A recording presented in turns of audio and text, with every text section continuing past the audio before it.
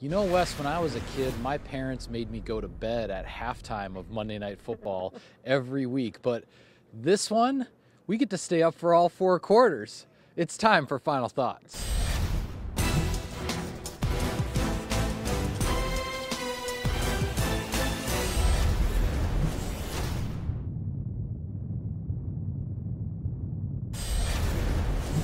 Okay, Wes, what's at stake? For the Green Bay Packers, a lot in this particular contest because one, it's a division game against a common opponent, the Detroit Lions. Two, Chicago and Minnesota are on a bye this week. So, Packers this is a chance to get within one game of the division lead of the Vikings. If you lose it, you're two games behind. So, from that standpoint, a lot there. But there's also the home field advantage aspect of it too. They no longer have that lengthy streak of victories at Lambeau Field over the Lions, but still have won 25 of the last 26 games, including playoffs here against Detroit. So, trying to keep that success going and building upon it. This is a good opportunity to do that against a team that's been having some issues of their own right. Yeah, definitely. The Lions have lost three straight here, and that's where I say what's at stake for the Packers is getting that first win for Brett Hundley. Mike McCarthy talks about it every year. The first win is always the toughest one to get. Well, now in the situation the Packers are in, it's another first win they need to get with the backup quarterback and with Brett Hundley. And I, I, think you agree with me, Wes. If the Packers can get this going, you get this first win under your belt,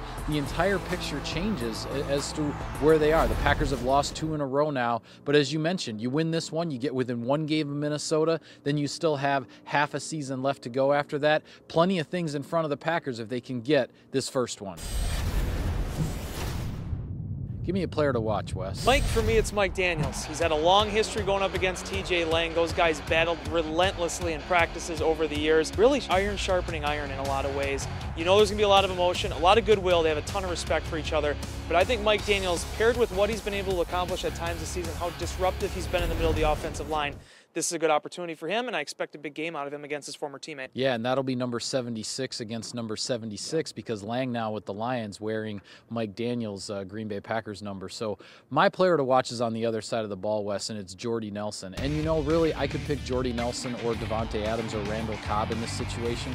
The bottom line is the Packers need to get the ball to their playmakers. Mike McCarthy has talked about it since the Saints game. Brett Hundley has talked about it. Only five touches for those top three receivers for Green Bay against New Orleans, and we all know that that's not enough. The Packers need to get the ball to their big play guys, and it's got to start on Monday night. Wes, I say the Packers win if they get off the field on third down on defense. That's another thing that's been talked about here since the New Orleans game. It kind of bit the Packers in the rear end a little bit against Drew Brees. The Packers have to be better on third down against Matthew Stafford. And if you are, maybe you can make some big plays against Stafford. The Packers 13 games in Matthew Stafford's career against Green Bay. He's got 19 interceptions and he's been sacked 29 times.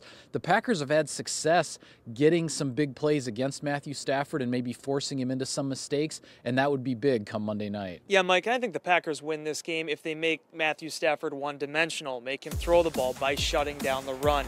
Mike Daniels, as I mentioned earlier, in this Packers run defense, I don't think the statistics tell the whole story there. There is a lot of ability there, and I think they are ready to be able to get some big stops going forward. Kenny Clark is having a heck of a year, a breakthrough season. Blake Martinez is tackling everybody. Right now, they're going up against the 30th ranked rushing offense in the league, led by Ameer Abdullah.